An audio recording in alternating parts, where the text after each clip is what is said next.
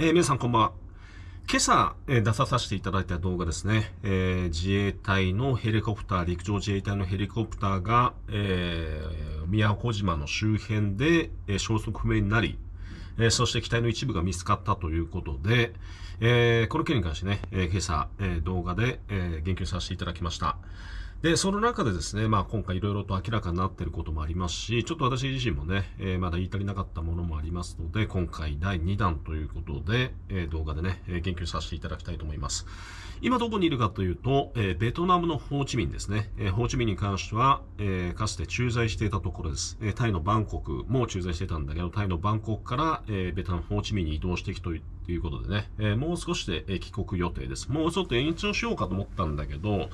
まあちょっとこの後ね、また他の国にも行く予定なので、えー、一度帰国しようかなと思ってます。で、えー、第8師団長ということで、師団長が乗ったヘリコプターということでね、えー、昨日の3時、えー、56分、4時前にね、えー、消息不明になったということで、えー、師団長ですからね、えー、これがしかも3月の、えー、終わりに赴任したばかりということで、えー、階級としては陸将ですからね、えー、かなり本当に上の方ですね、大幹部の方なんですけど、えー、その方を乗せた、えー、ヘリコプターが、えー、行方不明になっているということで、機体の一部が見つかっているということで、え、レーダーから消えてというかね、途中はまでね、まあ、無線でやり取りもしてたということなんですけど、急にそれが途絶えてしまったということで、これが非常に不思議です。もし何らかしらのね、えー、問題が起きて、えー、すぐにじゃあ、えー、墜落とならないと思うんですよね。もし何か爆破されたりとか、もしくは電磁波の攻撃を受けた場合だったら、急にこうなっていくと思うんだけど、えー、そこで、えー、もちろん、その、ヘリコプターからね、脱出する、えー、訓練なんかも起きてるんで、そこら辺も慣れてるとは思うんだけど、そういったところが見当たらず、隊員も見当たらないところを見るとね、非常に、え、不気味だなっていうのはね、思うところです。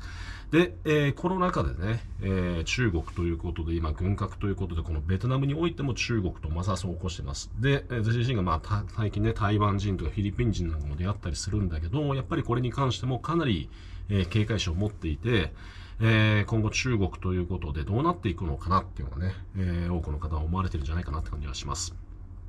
前の動画でも説明させていただいた通り、アステラス製薬の、えー、中国の法人、日本人の幹部ですね、えー、この方がスパイ容疑で拘束されています。えー、私はまあいずれ解放されるだろうなとは思っているんですけど、えー、そういった面もありますし、日本の企業に中国のスパイ、共産党のスパイが入り込んで、えー、技術を奪う、いわゆる産業スパイも入り込んでいたのもありますね。えー、こういった問題もあり、えー、日本においても数多くスパイがいるのも実情で、えー、そういったところもね、えー、スパイ防止法なるものが中国でできていたわけだけど、え、逆に、じゃあ日本においてもスパイ天国になってるのでね、こういったところを私はより厳しく、え、法律を制定していくべきじゃないかなっていうのは思うところです。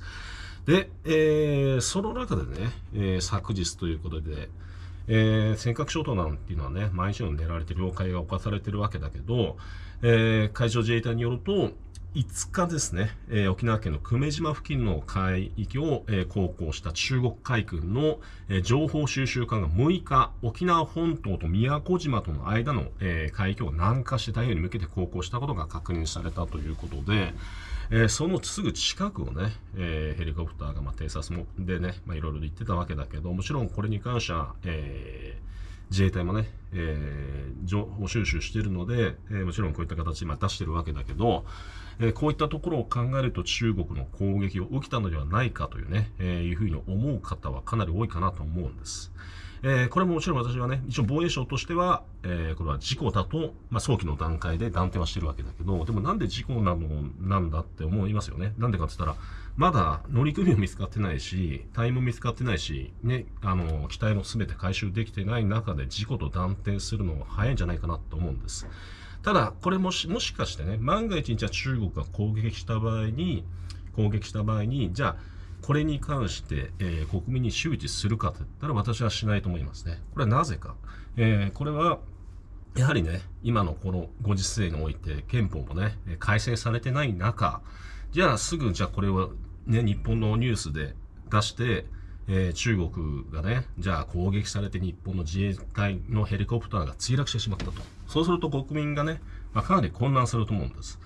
えー、戦後、まあ、いわゆるアメリカ GHQ に骨抜きされた施策によって、日本人、例えばじゃあ自国、祖国のために戦いますかという質問に対してね、多くの人々が、じゃあ戦わないって答えている人多いと思うんでね、私は命を捨ててでも戦う。私は戦いますね。命を捧げます。えー、その中で、えー、そういった日本人が少ない中で、じゃあこういうふうに、じゃあ中国によって攻撃されていました。じゃあ戦争になります。そうなった場合に、国内が混乱してしまうんですね。えー、なので国内が混乱してしまうし、今中国の日中間のこの中でも、やっぱり貿易面でも密接な関係で日本の企業は結構被害を被る可能性もあるので、そういったところをやっぱり慎重で見てるのかなと思います。もちろん、ね、事故の可能性も私は否定はできないと思うんだけど、えー、正直な話、これだけね、えー、事故だったらここまでじゃ消息をになってね、途中で会話がまあ途絶えて、で、えー、全くこの見つからないような状態っていうのをね、200名体制でもやってるようなんだけど、なかなかないんじゃないかなっていうのはね、思うところですね。はい。なので、正直な話、えー、多くの方が思われてる中国による仕業ではないのかというね、言われてる。爆破だったらもちろんその爆破音とかね、残ってたりすると思うし、その、まあ、いろんなやり方がありますからね。えー、何らかしらの攻撃を受けた可能性は、私は否定はできないかなと思うところです。はい。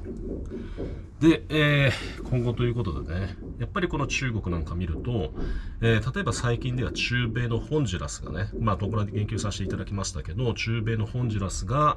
えー、台湾と国交を断交して中国と国交を結ぶ、いわゆるチャイナマネーですね。えー、カンボジアで日本人の詐欺集団が捕ま、あの拘束されてるって出しましたけど、カンボジアにおいても同じくチャイナマネーが入り込んでるんですね、ラオスにおいてもそうなんです。まあ東南アジア結構入り込んでいるんだけど、ベトナムに関してはまあ反中感情が強いので、なかなか入ってくる余地もないんですけど、逆にアメリカ資本が入ってきてるぐらいですからね。で、えー、今後はね、まあ、一旦私は日本帰国して、その後また、あの、いずれ、え今年ね、えー、ベトナム来て、そこからカンボジアに行きます。カンボジアもちょっと調査していきたいと思っていて、いずれチャイナマネーがかなり入り込んでるということで、そういったところを実力で皆さんにね、まあ、こういったことがありまして、チャイナマネーがあって、こういったものは中国には建てられたとかね、そういったところもお伝えできればと思ってます。で、えー、あとはですね、太平洋の島諸国ということで、フィジーに昔駐在していたので、フィジーなんかもかなり、まあ、軍事政権になって以降ですね、日本、オーストラリア、ニュージーランドなどが援助をかなり減額して、そこに目をつけた中国、まあ、いてね、中国がかなりお金を出していった。そして、えフィジーの政府と中国の政府はかなり今仲いい状態です。ただ国民の身長からしたらそんなに良くはないんですけど、他にも太平洋の島諸国が同じように、えー、台湾と国交を断交して中国と結ぶ、これ中米の諸国も、ね、なってますし、まあ、他にアフリカの国々もそうなんですね。え、やっぱりそういったところもね、まあ、今後、え、そこら辺の国々も行きますので、現地よりね、え、お伝えしていければなっていうのはね、思うところです。なかなかやっぱりこの海外ということで今、ロシアがウクライナ侵攻ということで、ロシアが、じゃあ中国がこの南西方面、ね、台湾有事イコール日本有事であり、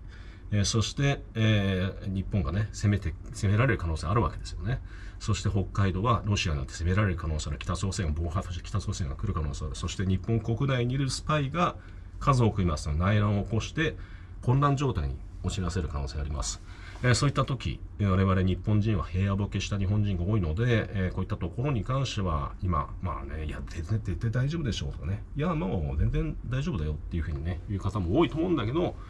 やはりしっかりとそういったところの危機感をね、私は持っていくべきじゃないかなと思うところです。世界各地を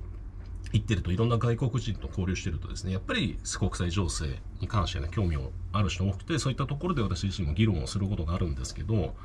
えー、やっぱり国際情勢に目を通し、今ある日本が危機的な状況であることも、えー、察知しながら、いろんな意味でやっぱり準備していかないといけないし、私はまあ自衛隊ということで、とにかく無事に見つかっていただきたいと思ってるんですけど、えー、とにかくこの、え、国、政治家、え、たる人々もね、え日本のためにね、守るために、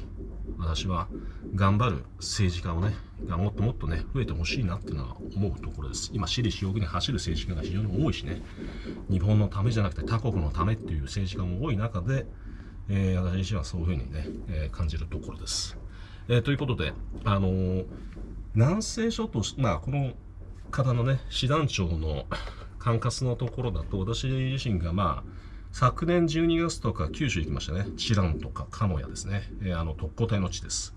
えー、そこに行って慰霊をさせていただきました。沖縄はかつて、えー、3回行きね、慰霊でも行かさせていただいて、こちらの、えー、チャンネルに出させていただいてますけど、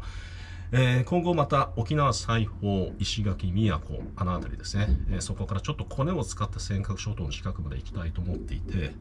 え、またね、え、こちらでアップできるものに関しては映像でちょっとアップしていきたいと思ってます。これから世界各地を回っていく中で、え、なかなかメディアでは出さない。メディアだとやっぱ問題になっちゃうから出せないっていうところをね、え、こちらのチャンネルで映像でね、証拠として出していきたいと思ってますので、ぜひ楽しみにしていただければと思います。えー、ということで、えチャンネル登録いただいてない方ね、ぜひチャンネル登録いただければと思います。えとにかくまあ、激動の国際情勢ということで今後どうなっていくのか。コロナはもうほぼほぼもう収束のような状態です、えー、そこから世界がどう変わってかなり変わってはいったんだけど、えー、これから世界がどうなるのかというところですね、えー、自身がまあ世界各所回って伝えていきたいと思ってます。